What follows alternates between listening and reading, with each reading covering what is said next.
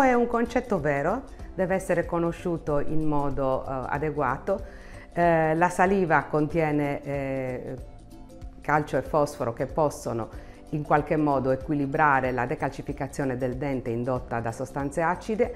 Eh, chiaramente prima che questo danno sia troppo avanzato. Quindi diciamo che in una fase iniziale della lesione cariosa il poter utilizzare prodotti a base di, eh, di fluoro, il poter utilizzare, eh, cambiare le, le, abitudini alimentari di generale può portare a una ricalcificazione eh, dello smalto dentale che è poi la, la, nostra coperta, cioè quello che previene ulteriori danni eh, al dente.